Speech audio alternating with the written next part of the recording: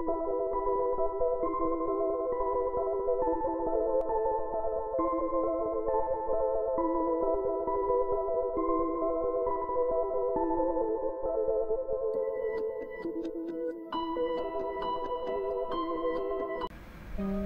friends and welcome to my channel Kullu नफसिन, जायकातुल मौत।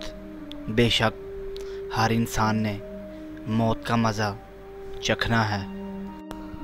दोस्तों, आज हम साइंस की रो से, दुनिया की सबसे खौफनाक चीज़ के बारे में बात करेंगे, यानी मौत। दोस्तों, कोई इंसान अमीर है या गरीब, नेक है या गुनाहगार, लेकिन अपनी ज़िंदगी में एक चीज़ का ख्याल उसके जहन में ज़रूर आया होगा। मौत, यानी मौत के बाद उसके साथ क्या होगा? यह कुदरत का एक बनाया हुआ कानून है, जो पैदा होता है, वो मरता भी है। इस दुनिया की हर जानदार चीज़ जो हमें दिखाई देती है और जो हमें महसूस होती है, सबको एक ना एक दिन मरना है, सुवाय अल्लाह के। हती के चाँद, सूरज, ज़मीन, आसमान सब का एक वक्त मुकर्र कायम है। ना कोई चीज़ अपने वक्त मुकर्र से आगे बढ़ सकती हैं और ना कोई पहले फना हो सकती है। बचपन में ही हर इंसान के दिल में ये खौफ रहता है कि मौत एक बहुत ख़तरनाक चीज़ है यह एक बहुत बड़ा हादसा है जो हमारे साथ एक ना एक दिन ज़रूर पेश आएगा। और अगर मौत को साइंस की रो से देखा जाए तो ये एक हादसा नहीं बल्कि एक अमल है, यानी प्रोसेस है। जैसे इंसान का पैदा होना कोई बड़ी बात नहीं, इसी तरह उसका मरना कोई भी मुश्किल काम नहीं। मौत के बाद क्या होगा?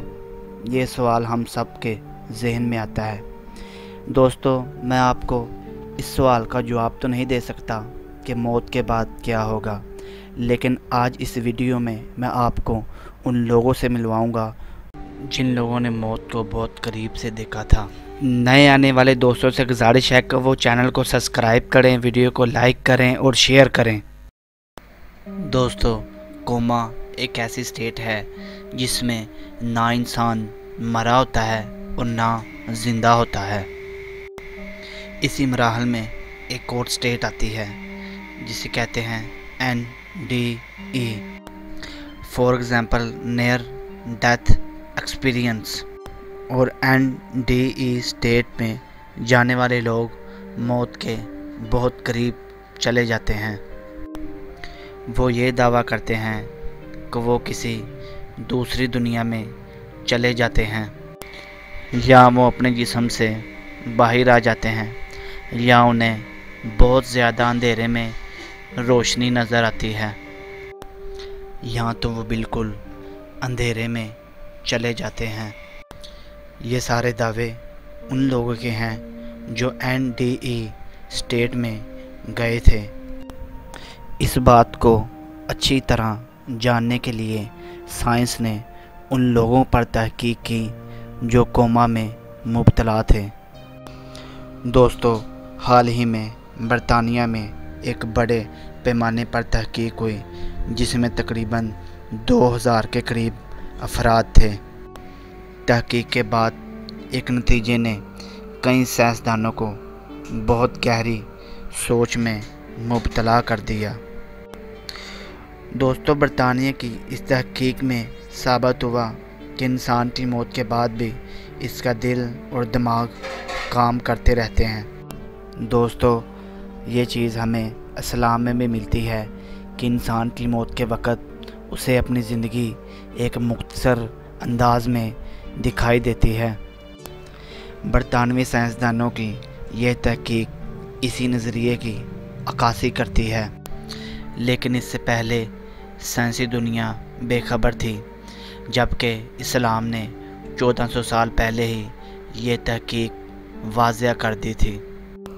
इस तहकीक में ये बात भी साबित हुई कि इंसान को अपने मरने के बाद अपने आप से निकलने का एहसास भी होता है। जैसा कि इस्लाम में रूह इंसान के जिसम से बाहर निकलकर आसमान की तरफ़ जाती है। यूनिवर्सिटी ऑफ़ सोथैम्पटन में एक तहकीक के बाद ये साबित हुआ कि इंसान मरने के बाद भी कुछ देर तक ज़िंदा रहता है और ख्वाब की हालत में रहता है। तहकीक के सरबरा डॉक्टर सम्पैनिया का कहना था कि ख्याल के बरअक्स मौत एक ख़ास लम्हा नहीं, बल्कि एक नाकबले वापसी अमल है, जो एक बहुत बड़े हादसे, दिल गुर्दे और दिमाग के रुक जाने का सबब बनती है। अगर ये अमल काबिल वापसी हो तो ये कल का बन जाना कहलाती है। और अगर नाकबले वापसी हो तो ये मौत कहलाती है। इस बात को वाजिया साबित करने के लिए बरतानिया ने तकरीबन 2000 से जायद मरीज़ों को इकट्ठे किया। उन मरीज़ों को इकट्ठे किया जो कोमा की बीमारी से बाहर निकले थे। इन मरीज़ों का तलक बरतानिया, अमेरिका और दूसरी कंट्रीज़ से था। इनमें से कुछ लोगों ने यह भी बताया कि जब वो बीमारी में मुबतला थे तो उन्हें ऐसा लगता था कि जैसे वो अपने जिसम से आज़ाद हो रहे हैं। इनमें से एक ने यह भी बताया कि उसने कोमा की हालत में इर्द गिर्द के हालात को महसूस किया और कुछ आवाज़ें भी सुनी।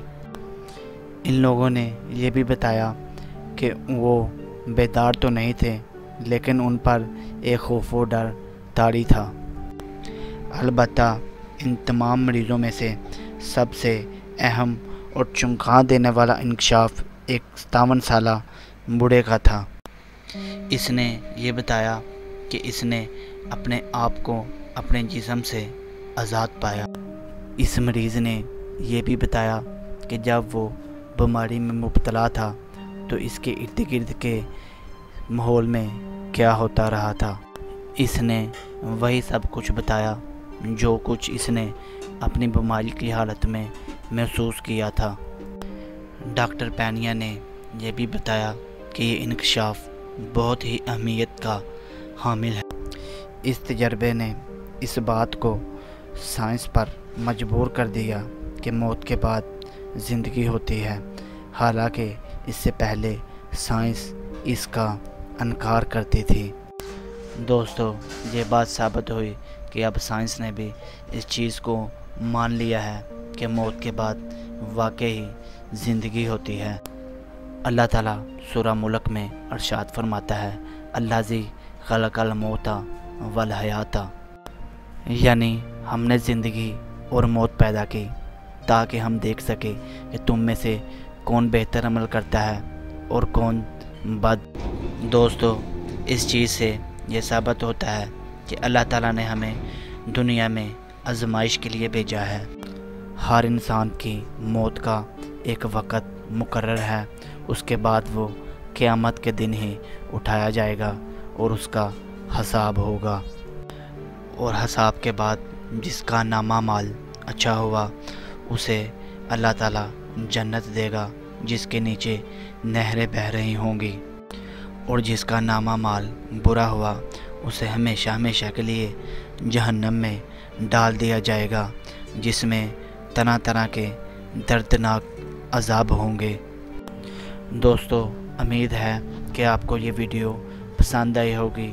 ऐसी मज़ीद वीडियो देखने के लिए हमारा चैनल वर्डली इन्फो सब्सक्राइब करें। मिलते हैं अगली वीडियो के साथ। अल्लाह